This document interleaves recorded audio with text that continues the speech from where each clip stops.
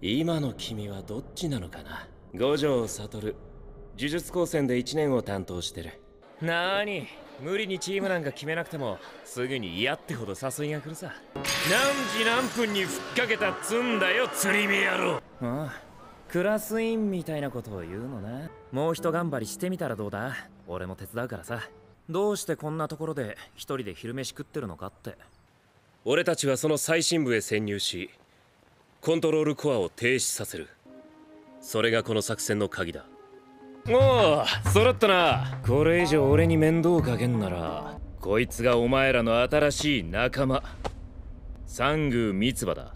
それは口にしても仕方のないことなんだ。お前は俺の代わりに怒ってくれる。その気持ちは嬉しいよ。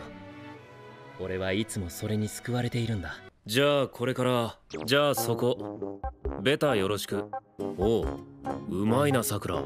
そろそろ休憩にしないか。ああ坂子じゃねえや沢子黒山のことは普通に好きだけど翔太が思ってるようなのじゃない。そういう意味じゃお前は完璧だな。ダントツで優勝だ。普通クイーンだな。できすぎた妹がいると風当たりがきつい。ボスの正体は今は解くことができない。脱出するんだジョルノ距離があるうちに。爪は後だ。急げジョルノ俺はグリード。ま仲良くやろうや。俺の後ろにいる。ロアお前なんだっけ？牛？おだけ家中のもんか。おい死んだ。今日本能寺で明智勢に侵略されたわ。もう18年も昔の話よ